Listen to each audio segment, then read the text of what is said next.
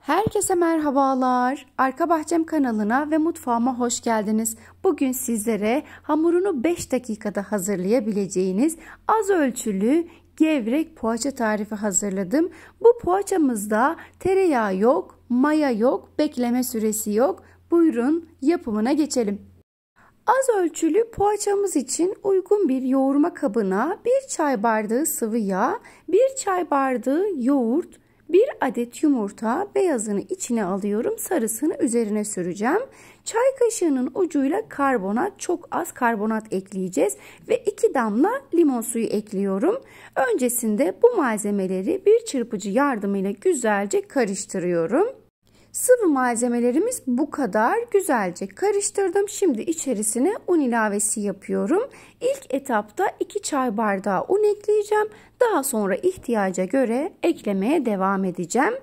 2 çay bardağı un, 1 çay kaşığı tuz ve 1 paket kabartma tozu ekliyorum. Bunları ekledikten sonra bir kaşık yardımıyla önce karıştırıyorum. Daha sonra yavaş yavaş un ilavesi yapacağım. Bu tarifte kullanmış olduğum çay bardağımın ölçüsü klasik 100 mililitrelik çay bardağıdır. Bu poğaça tarifi o kadar kolay ki emin olun hamurunun hazırlanması 5 dakika sürüyor. Ben toplamda 3,5 çay bardağı un kullandım ama unu yavaş yavaş ekledim. Sizlere de tavsiyem bir kere de unu eklemeyin. Yavaş yavaş ekleyerek hamurunuzun kıvamını oluşturun.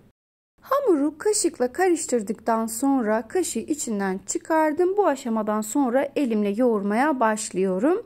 Ortalama 1,5-2 dakika kadar hamuru yoğurdum. Zaten hamur çok çabuk toparlanıyor.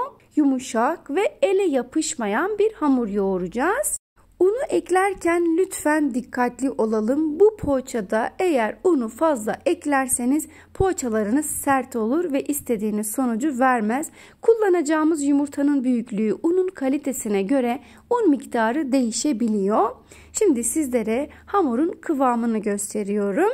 Hamurumuz yumuşak ve ele yapışmayan bir hamur olmalı. Hamurumuz hazır. Şimdi hiç beklemeden hemen poğaçalarımızın yapımına geçiyoruz. Bu arada kalan yarım bardağı da göstermek istedim. Ben toplamda 3,5 çay bardağı un kullandım. İç harcı olarak kaşar peyniri kullanacağım. Kaşar peynirlerini şeritler halinde doğradım. Siz dilediğiniz peyniri kullanabilirsiniz. Hamuru tezgaha aldıktan sonra mandalina büyüklüğünde parçalar koparıyorum. Elimle yuvarladıktan sonra çay tabağı büyüklüğünde açıyorum ve içerisine bir parça peyniri yerleştirip kapatıyorum. Peyniri yerleştirdikten sonra güzelce kapatalım ki peynirler pişerken taşmasın. Tarifimi buraya kadar izlediyseniz sizlerden küçük bir ricam olacak. Tariflerimi beğeniyorsanız ve faydalı olduğunu düşünüyorsanız beğenmeyi ve yorum yapmayı unutmayın lütfen. Ayrıca kanalıma ücretsiz bir şekilde abone olup tariflerimi sevdiklerinizle paylaşarak bana destek olabilirsiniz. Bütün hamuru aynı şekilde hazırlayıp pişirme kağıdı sermiş olduğum fırın tepsisine yerleştirdim. Vermiş olduğum bu ölçülerden toplamda 10 adet poğaça çıktı. Tabi siz dilerseniz daha büyük ya da daha küçük de yapabilirsiniz. Son olarak poğaçaların üzerine kenara ayırmış olduğum yumurta sarısını sürüyorum. Daha sonra da fırına pişmeye göndereceğim.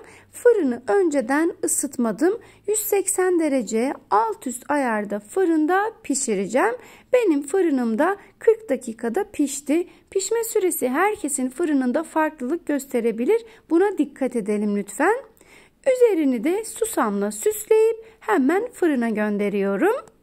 Salı günleri genelde az ölçülü tarifler paylaşıyorum. Bu anlamda benden istediğiniz farklı tarifler varsa yorumlar kısmından bana yazabilirsiniz. Gördüğüm anda sizler için hazırlar paylaşırım.